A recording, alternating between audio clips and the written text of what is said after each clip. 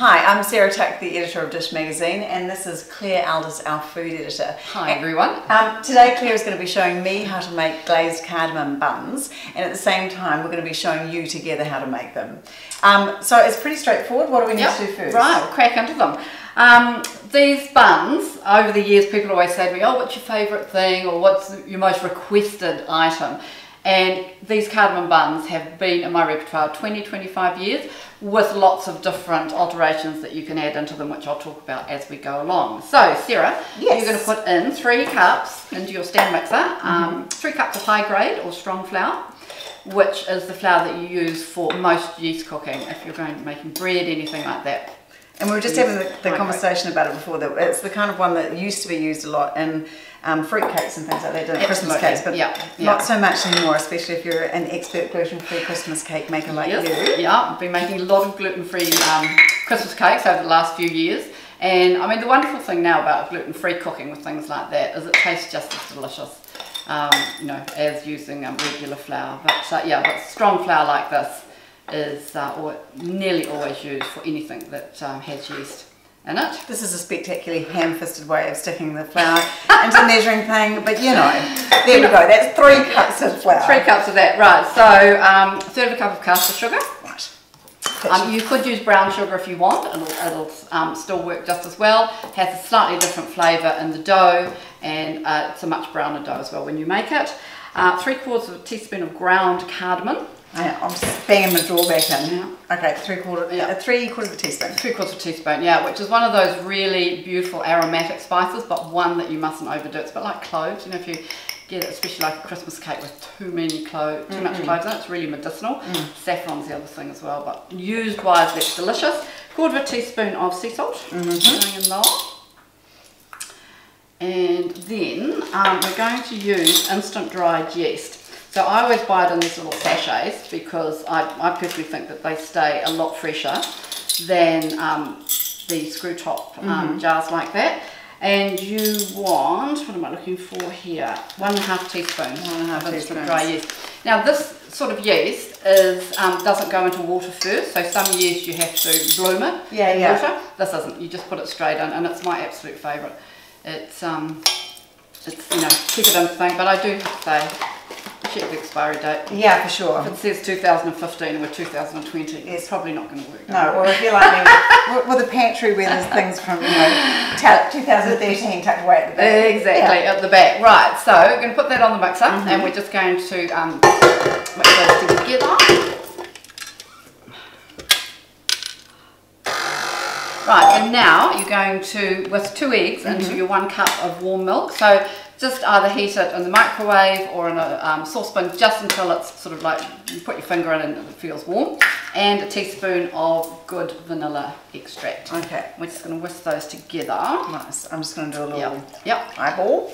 I mean the other thing that you can add um, to the dough which makes it really beautiful and I love it is um, some finely grated orange zest. Mm, yeah, delicious. Really nice yeah. and it works really well with the cardamom and cinnamon and that sort of and thing. And you can well. change those um, flavour profiles up too. Oh, you could use um, ground ginger. Yep, um, absolutely. Uh, do you put nuts or anything like that in when you do the Not filling? in the dough, I don't, no, but I do in the filling. Yeah, yeah absolutely. And the other, um, I really like um, whole aniseed. Mm, yeah. The tiny, tiny little grains, and I toast them, and sometimes I put them into the dough, and that is delicious mm, as well. Beautiful. So turn your mixer on with the dry ingredients to bring them together, and then you add the milk, you're beating um, eggs and milk mm -hmm. slowly, and then when it all starts coming together, you can turn turn it up a little bit, and then what you're going to do is then add the softened butter in dollops, right? And when each dollop is really well um, combined, then you add another bit and another bit. It's really important with the butter.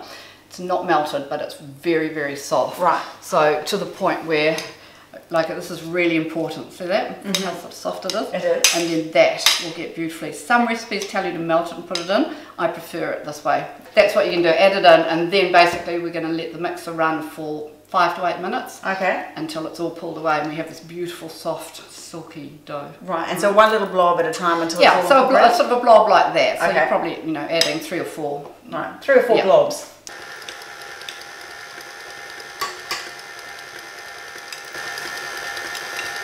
turn the mixer off, lift it up and scrape it down with a rubber spatula so that all the butter is combined in the batter and not just greasing your bowl.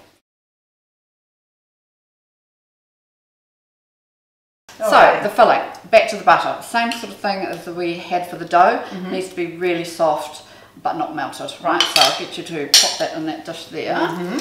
And then we're going to mix the other gorgeous ingredients in there, which of course butter and sugar. Mm, yum. Would a sticky bun be without butter and sugar? Mm, all good stuff. Right, and then you're going to mix in a third of a cup each of brown sugar and caster sugar. Alrighty. You can, if you want, use all one. A little bit mean on that one. You were, yeah. Uh, yeah, so it can work if you want to use all um, caster sugar or brown sugar. And then um, teaspoon, two teaspoons of cinnamon and one teaspoon of cardamom.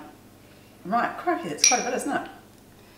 Yep. I suppose it all just disappears just into that amount of dough. Yep, yeah, and one, and one teaspoon okay. of, of that. Yep. Great, and you are just going to mix all that together. Jolly good. A spoon. So you can see if that butter was hard, mm, it would be impossible. Then it's impossible. And then when you go and try and spread it on the dough, the dough just rips and it just brings tears. Mm. And yeah, oh my god, this smells so good. It smells like Christmas. No, it does, doesn't it? Mm. Nobody wants tears over baking. This one's good. So at this point, this is where you could also um, add other flavourings to it. So you could add um, orange or lemon zest, would be really nice. -hmm. You could add dried fruit so, um, but you do need to chop it. So um, apricots would be delicious, raisins, um, prunes, currants, figs, anything like that. Um, but yeah, but chop it finely so that when you smooth it all over your dough, um, you have lovely, um, even coverage of sugar all the way through and fruit rather than one person getting all the fruit. Because yeah, you want it almost like a paste, don't yeah, you? Yeah, it does. Yeah. So that's what you're making. You're making a beautiful um, paste. Right. You can do the old smoothie smoothie on the dough. Yes, we'll do the smoothie on the dough. Which we are now going to roll out and on a well floured bench. I'll just get rid of these. And also, right, so.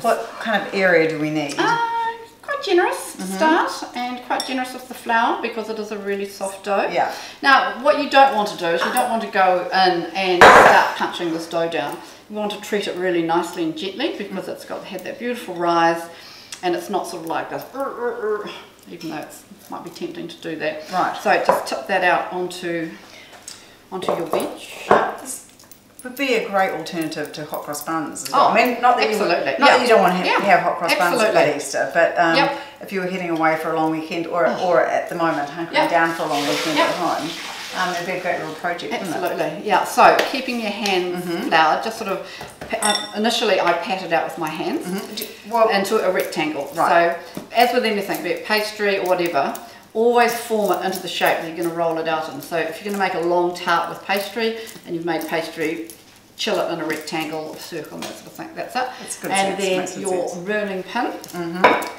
well floured rolling pin, and we're going to, um, you are going to roll it out to approximately, let me just read my recipe, 40 by 25 centimetres. I, I have got, right, you know I've got a ruler. Sarah has a ruler. Because I'm not much of a control freak, so. A ruler.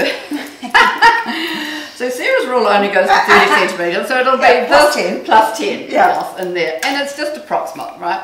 Um, you don't have to get your ruler out. So not having made this before yeah. myself. So what so, so am I looking at that now, to? you're mm -hmm. at mm-hmm. 25, okay. right? So now you need to go. Now the other good thing to do is to every now and again mm -hmm. get your offset spatula or whatever you've got underneath and lift the dough up and just put a little bit more flour under like that. And then, and now you want to keep rolling it out evenly.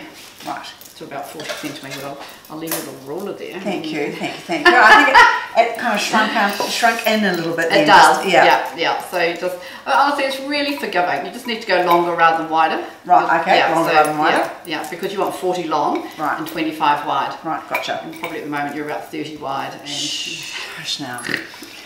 Just um, make sure that your sort of ends aren't sort of too narrow and that you don't have a big fat bit in the middle because um, you just need to make sure when you're rolling out, you're sort of rolling through the middle as well. So you get that. And that looks fantastic. Now the only thing I would suggest mm -hmm. is that mm-hmm. at this point, we turn it around so you've got the long side Beautiful. in front of you like that. And we'll just try and pat this little corner. Can I, sorry. Can yes. Sorry, sorry. No, you get in right, there. Yeah, just to try and bring that corner up. Otherwise the people on get the end buns get a little minchy bun. And right, there we go. So that's it. Perfect. So now what you're going to do is use your spatula mm -hmm. and evenly spread. Oh, I'm going to let you do this bit. So, so you can show me what to do. so, um, oh, this one. So what I tend to do, mm -hmm. rather than dollop the whole thing in the middle, because the gentler you can be with the with the dough, then the better it's going to come out at the end. So just dollop like this, and then it just means that you've got less spreading to do. So as you can see, by using an offset spatula, you can just get a really nice even coverage of the sugar. I know this isn't the Weight Watcher special, but this mm. isn't a serving for one. I don't do Weight Watchers, that's perfect to me. People said to go, oh my god, look at all that sugar. This is a treat. You know, this is something that everybody loves. So just spread it evenly and then just go back over like this.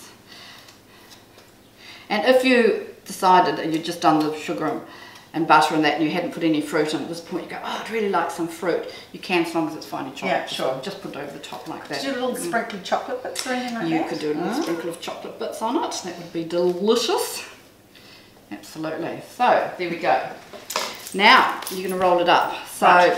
some people like to roll from away from them and some people like to roll. Oh my god! What would you like do you to have do? a preference? Well, what would you? What's, I'm what's intrigued. I don't know now. What's neat because you have a sort of a natural rhythm in the kitchen. Yeah. And mm. For some recipes, always tell you to roll away from you, but I always roll towards yeah, you. I think I would do yeah. too. Should we? we should we we'll do a tandem roll? Yeah, you, absolutely. How squishy are so, we rolling? Yeah, no, just like that's perfect. And sorry, so as we okay. go, sorry, just uh, yeah, yeah. Right. I'm, I'm speed rolling. Just yeah, slow down. But you want to um, just brush off. Mm -hmm that extra flour that's under there because you don't want that flour in there. Yeah. You don't want to dilute the sugar. No, don't. right, pull that over like that and just brush all that away. Mm -hmm. Pull all that away. But see, it's really, isn't it soft? To oh my God, yeah. amazing. So then, yeah, so tap your ends. I have tap yeah, ends. So see how we have a nice so if, so if you're a little bit fat in the middle, just sort of squeeze it to the end like that. Oh, that looks and perfect. Like that. Isn't that gorgeous? So here's the tins that we're going to use. So this is just a standard um, 12 hole muffin tin that we're going to use for that. Um, obviously you could make Texas muffin tin size ones. And do monster ones. But they're rich. I yeah, wouldn't yeah. do that. No. Right, so spray your tins with cooking spray or you could lightly butter them if you want to. And then just take um, pieces of greaseproof paper, this is just brown baking paper, mm -hmm. and press them into the tins and sort of pleat them around the outside. I mean, they're very rustic looking. And But if you don't do this, then the sugar just burns on the bottom mm. and you don't want that. You want to be able to keep all that lovely buttery juice in there when they bake. Using a really sharp knife uh, makes a huge difference to um, getting nice sort of clean scrolls but the dough is very soft and at this point you can actually just slide a tray under the um, under the whole thing and pop it in the fridge for about half an hour just to let the dough firm, firm up because obviously the butter's soft and the dough's soft. It really depends on the time of year, like if you're doing this in winter, um, the dough will stay um, quite firm, but um, you just want 12 relatively even pieces. Or people can just pick the size that they want at the end. I mean, the whole thing about it being soft like this is the fact that it's going to be really delicious to eat. If, if the dough, if we'd added a lot more flour to it, then um, it wouldn't be that lovely tender crumb that we're looking for and so it's a little bit of a trade-off but um, and the other thing is if your knife starts getting really sticky with the butter and sugar just wipe it with a like this just give it a wipe with a paper towel and uh, and continue cutting like that so I think we're reasonably even. I know, they look beautiful. They look really nice. Okay, I'm gonna I'm just going to slice, slice that little yeah. bit. So take, take off that tiny little end bit from each of the ends and um, just so that you've got a nice clean sides. And then what we're going to do, so pick them up, and then what I do is I just pull that piece of dough around like that to make a really tight little bundle to drop in the paper like that. It's just easier. So just pick it up mm -hmm. and, and then sort of pull that around mm -hmm. like that. And then you can drop it in because what you want is you want them to be standing up right in the in the um, tray because we want them to sort of, they almost sort of get that little sort of top knot like that. 25 minutes, 180 fan bake. Perfect. Um, I, I cook nearly all the time with fan bake. Yeah. I know some people prefer non-fan bake. I just, especially baking, I just find you get a much more golden, even cook with that sort of thing. Um, 25 minutes seems quite long for something like this, but we want them to be really well cooked in the middle. You don't want a stodgy, mm, sticky no. bun in the middle. You mm. want the dough to be really um, well risen inside. And because they're quite dense, because we've folded them up, it needs. But keep an eye on them, like everything. Start checking at 20 minutes. Yeah. And uh, you know, and they should come up all beautifully puffed and risen. Ooh. Oh, yum. Right, and then now we're going to do the glaze. Mm -hmm. So what you got to do is heat up some apricot jam so that it's nice and liquid like that and then just dollop it all over. Yeah, and just all, all the nooks and crannies and, and that sort of thing and it just gives them that lovely golden glow. Halfway through cooking, have a look at them. If your oven um, browns more on one side mm -hmm. than the mm-hmm. other, then give them a swizz around. Or if they're getting really brown after 15 minutes, turn your oven down. Right. You know, from 180, turn it down to um, 170. Nice. Don't think, oh, because she said 180, it has to stay at that. Right, so we've got the beautiful glaze on mm -hmm. them, mm-hmm. which is my preference. I really love them like that. But if you don't want to glaze them, um, dusting of icing sugar when they're cool, mm -hmm. or obviously you could make up a little thin icing with um, icing sugar and lemon juice and just drizzle it over the top. But this is my preferred way of yeah, well, they look amazing and they smell incredible. I know, God, the smell is just oh, amazing, isn't it? Yeah, so good. Yeah. Um, well, I hope you've enjoyed, as I have, learning from the master today how to make these incredible glazed cardamom buns. Um, don't forget to check out the recipe online and also in the latest issue of Dish. Uh, and we're going to leave it there because I can't wait now. We need to eat one of these uh, straight away. I'll see you next Sarah. time. Yeah.